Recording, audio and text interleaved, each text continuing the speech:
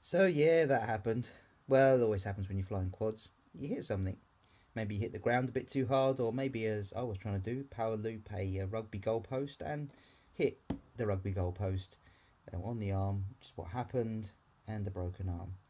Now, I put the, the crash in there for you to see, so that you can judge for yourself whether you think that I hit the post with enough force to break an arm in your opinion. If you think that yes, it was just no, no arm would have ever resisted that, or where you think, well, that wasn't much of an accident, why did the arm break? But that's up to you to make your mind up in that regard. Personally, I think it probably should have resisted it. I was only running 1104 motors, very small, uh, just on some bi-blade props.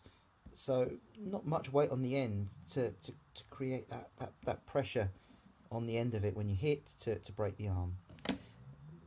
But we've got some clues now as to, as to some, some issues perhaps that you probably noticed. I think I mentioned in my video when I was looking at this originally as to why the arm broke. Now on Airblade's website, and firstly and foremost I say I like Airblade, they're a great company, they've always done well by me. I've had some of their products in the past, their frames, and they've always been you know, excellent. Anything I bought from them has been brilliant, and I love using their battery straps, the little micro battery straps, they're brilliant. So um, Airblade, I'm not saying don't use them, I'm saying use them, but let's have some caution on this particular frame unless things change. So as we said, Airblade on their website say, well, it's obvious that the carbon's in the wrong direction. You can see that from the arms. It seems to be in completely the wrong direction with the um, with the fibres of the carbon going across the arm, not going along with the arm, which is what you're looking for. You want the carbon to be going along the arms, and that provides the greatest amount of strength uh, for those arms. But on their website, they say, well, it's obvious that's not happening on the outside, but their manufacturers promised them that on the inside of the frame, the carbon is in the right direction and everything's okay.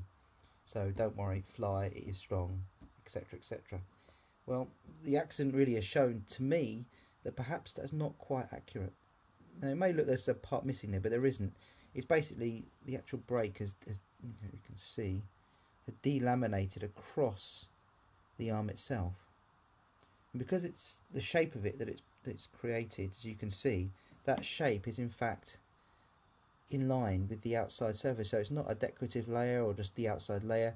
It's how the carbon is all the way through, which I have to admit, many people would have suspected from the start that the outside layer was indicative of what's on the inside. But there you go. We can now see more evidence because of my crash. We can see that actually maybe the carbon isn't going in the right direction. That's created a weakness um, that hitting the the rugby goalposts has uh, has had an effect on and has broken the arm. Interestingly enough, when the arm actually broke, it just kind of it, it, hadn't actually broken off completely. It sort of just snapped, and you could see that it delaminated, and just moving back straight, the whole thing just came off. So, yeah, it wasn't a, a clean break straight away. Um, so there you go. That's a bit annoying, but still there. You go. We've now had a sign to see exactly what is underneath this carbon and um, get a better idea. So you can then judge for yourself, watch this video, watch my previous review video on my channel, and then you can make your own mind up. But there we are. I've got some ideas about what I want to use this pattern for here.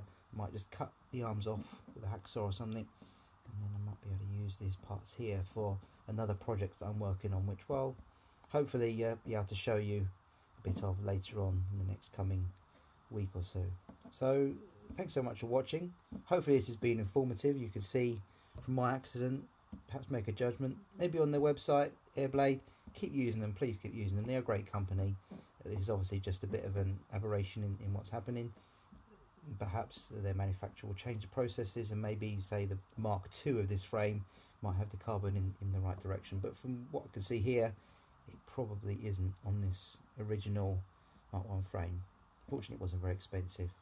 So uh, we'll see how it goes anyway. Maybe they'll start just selling the base plates and I can get one of those and because uh, I've still got the arm pieces and they're fine.